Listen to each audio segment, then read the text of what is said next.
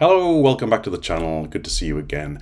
In this video, I'm going to take a look at the new preview Microsoft Purview portal, which you can access at purview.microsoft.com. I test this out with some confusing results, as you will see in a few moments. Before we get to that though, please do hit that subscribe button. It does help me so much, as I always say, so uh, hit that button and become a subscriber. It's free to do so. You can also become a member as well. Uh, there are three levels of membership, so please do check them out. Thank you so much. Right, on with the video. Let's take a look at this new preview portal of Microsoft, or is it Purview?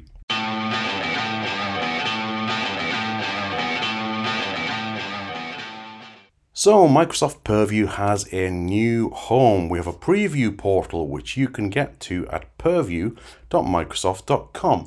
Now don't fear, the existing compliance.microsoft.com portal is still there, still going, and I'm sure it will be for some time. But let's take a look together and explore what this new purview.microsoft.com portal is all about. What have we got in here right now? When you launch it, you get this uh, little um, try now uh, button. So let's see what it's all about. So we can govern and protect the data. Yeah, we like that. Purview has a new look and capabilities. Start your journey with uh, these capabilities automatically inventory data in Microsoft Azure and Microsoft Fabric. Okay, so we're getting more integration with um, Purview from an Azure point of view. Um, I think of Purview very much as an M365 thing, but there are Azure capabilities uh, in Azure as well, and I think the intention here is to bring all of these together in, in one portal. Uh, okay, let's see what else we got. Explore your data in a searchable data catalog. Um, fantastic. Identify and protect your sensitive and business critical data. Right, well, let's try the new Microsoft Purview out. Let us know what you think. By proceeding, you acknowledge the, the terms and policies. Okay, well, we don't want to show that again. Let's try now and let's see what we've got. Okay, comprehensive data security, governance and compliance for all your data wherever it lives. Let's scroll down first before we click on anything. So we've got some tiles here at the top, a data catalog, knowledge center, settings and view all solutions. Pick up where you left off, okay, so that'll populate as you start going through things. Recently accessed. We've got a knowledge center there at the bottom. So it's fairly minimalist in terms of the the home page. Uh, let's start going into the. I always like to start with settings. Let's have a look and see what the settings are. We can configure our portal and solution settings. These can also be accessed at any time from the settings icon at the top of the portal, which there we go, we have it.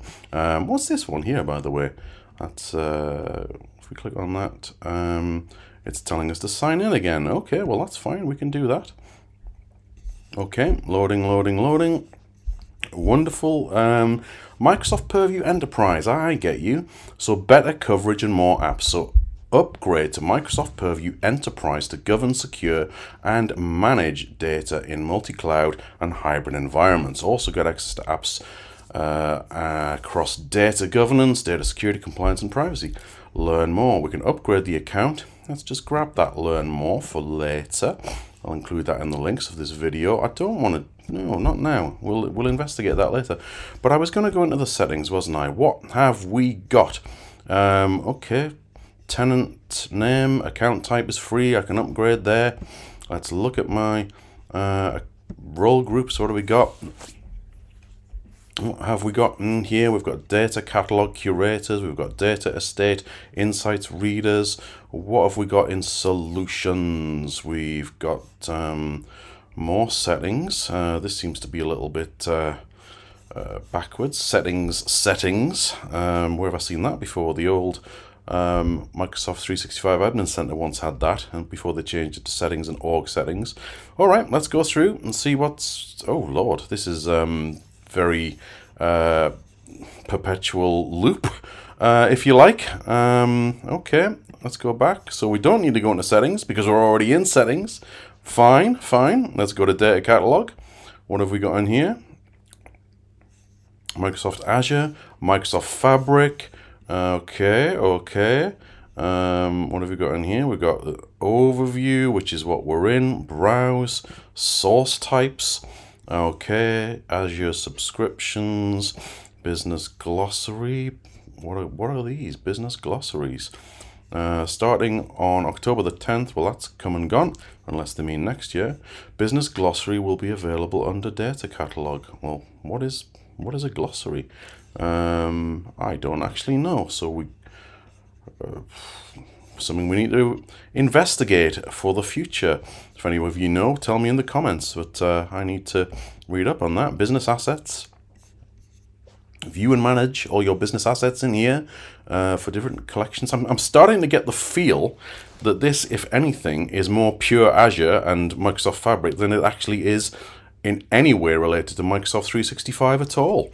Um, so that's interesting. I had thought that this new Purview portal was intended to be more of a unified portal for um, all things Purview, but um, uh, this is slightly disappointing to be honest. Okay, data sharing. Shares, we can create shares in here. Uh, types, Azure, yeah, it's very Azure um, heavy this. Very Azure heavy. Um, maybe I need one of my uh, friendly Azure um, colleagues or community heroes to come on and talk to me about this because I am a little bit lost here. So where are we? We're in the data catalog. Okay.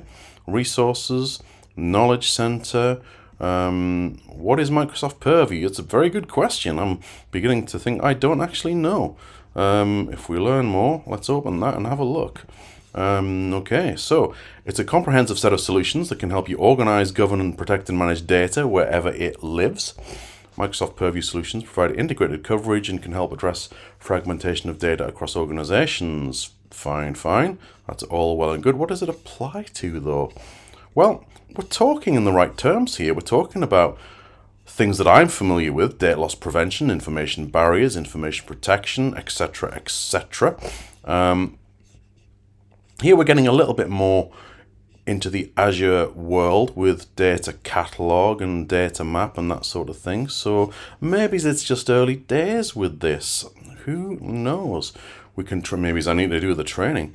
Developer resources are here um, data governance, we can map data here, we can build a glossary, trace data lineage, explore data.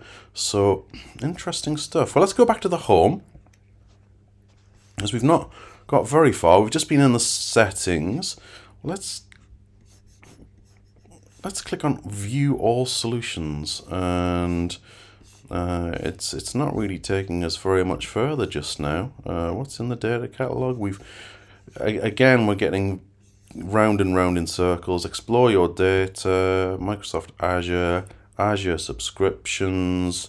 It's telling me I've got one. So uh, that, folks, is pretty much just about it. To be honest, I can't really take you any further than that. So. Um, it'll be interesting to see where this goes because it's feeling very, very Azure uh, heavy, which to be fair, it does say on there. But to me, this is Microsoft Purview, um, which to me suggests more Microsoft 365 and uh, Microsoft Purview within the compliance.microsoft.com portal rather than uh, Azure. But the two are coming closer together, which I have to admit is something that I, I, I do fear a little bit and something I've been a bit critical of in terms of some of the Microsoft exams where you have no choice. If you want to pass the security exams, you have to know a bit of M365, but you have to know a fair bit of Azure as well, which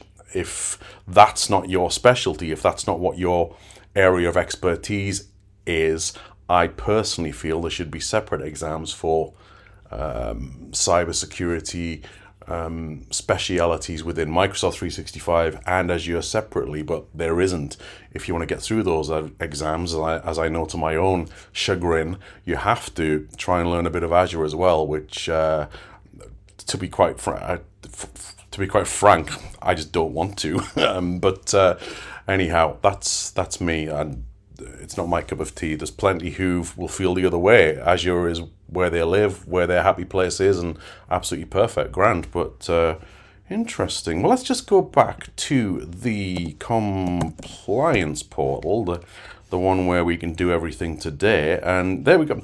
This is confusing Microsoft. Welcome to the Microsoft Purview portal. In here we've got everything M365 related that I am happy and familiar with. My DLP is here, my e-discovery is here, my data lifecycle management, information protection, all the stuff that I need to get at as a compliance administrator. So um, this I feel is going to confuse, uh, but it is in preview. So I think let's just keep an eye on it and see where it goes.